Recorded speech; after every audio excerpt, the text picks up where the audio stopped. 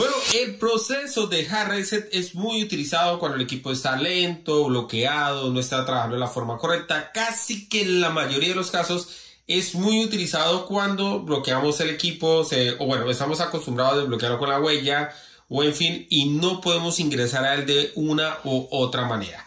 Pero para hacer este proceso, el equipo orientador móvil va a algunas recomendaciones.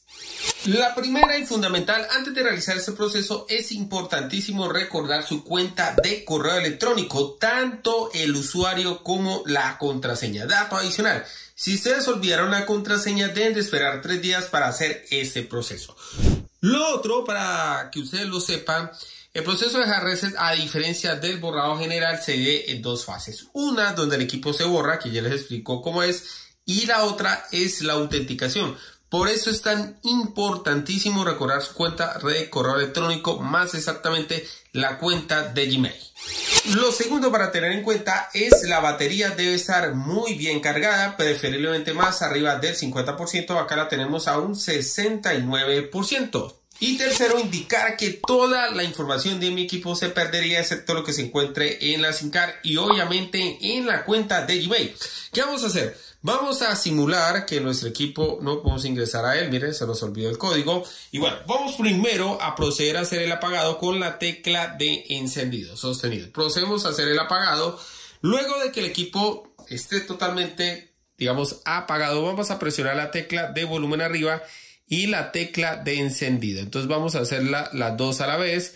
Hasta, bueno, cuando vibre, soltamos la tecla de encendido y, entra a este modo recoge, casi que de inmediato. Son equipos bastante rápidos. Me gusta mucho este proceso. Pero vamos donde dice o bajamos con la tecla volumen arriba volumen abajo, da lo mismo. Donde dice Recovery Mode, que es y con la tecla de encendido, falta decir, ingresamos a este modo. Esto con la finalidad de hacer este modo recovery.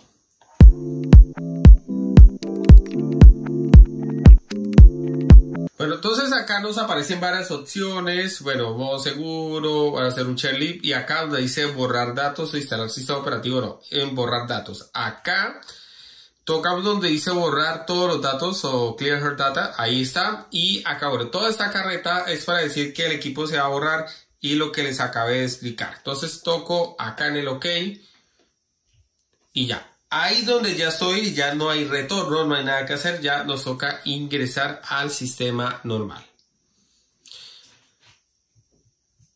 Luego solo doy volver, voy acá a la flecha y bueno, no vamos donde dice restaurar porque este sería el apagar. Entonces acá toco un poquito acá, acá que reiniciar. Entonces acá el equipo se va a reiniciar, va a salir del modo recovery y va a volver, a volver al sistema normal.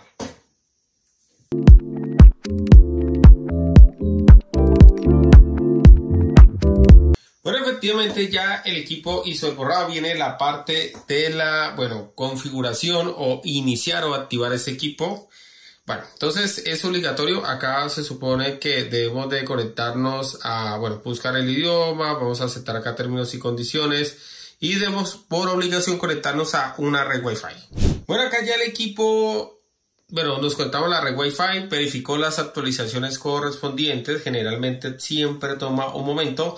Acá se supone que debemos digitar el código que no sabemos porque, una de las razones de ser de no hacer este tutorial es eso, que no sabemos el código.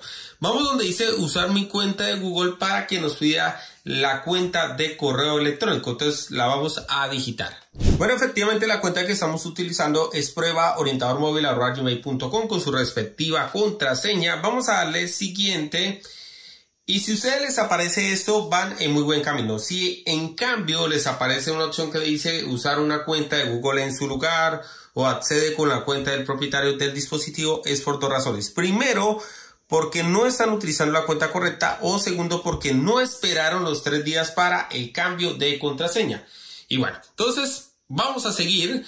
Eh, esto es para indicar si es un mayor de edad o menor de edad. La primera opción que es para mayores de edad. Y acá el equipo me lleva a dos caminos. Uno donde dice usar una cuenta nueva, quiere decir que mi cuenta, que sería la de prueba orientador móvil, desaparece y yo quedaría configurando una cuenta principal, la que yo quiera. Y usar la cuenta anterior, que es en el caso que voy a hacer, es volver a configurar la cuenta de correo electrónico que vengo utilizando. pues cada uno pues establece el modo eh, dependiendo de sus necesidades. Hay que estar haciendo el equipo sencillamente está verificando las actualizaciones del sistema, comprobando la cuenta de correo electrónico, haciendo los ajustes pertinentes. Recuerden que por esto se requiere tanto que el equipo esté cargado.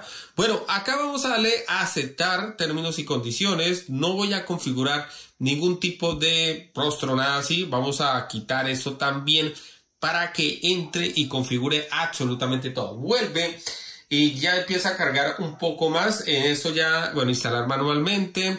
Ah, bueno, voy a utilizar los tres botones, no quiero gestos y ya, el equipo ahí inmediatamente está cargando dos ecosistemas, el de, el de Vivo y el de Android, los dos a la vez. Entonces nos toca tomar un tiempo mientras el equipo verifica, ya no está pidiendo ningún código y ninguna información adicional. Ya queda listo para utilizar como.